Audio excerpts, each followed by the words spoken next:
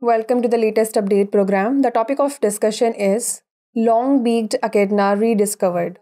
Recently, a team of scientists rediscovered the long beaked echidna Zaglossus attenboroughi.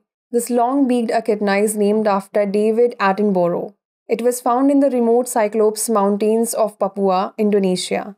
This species, last seen in 1961, is part of the monotremes, an ancient egg laying mammal group. This discovery was led by James Kempton from the University of Oxford. The discovery was made possible after a four week expedition with 80 camera traps. The team also found other rare species, including a tree dwelling shrimp, a honey eater bird not seen since 2008, and various underground species like blind spiders and a whip scorpion in a newly discovered cave system.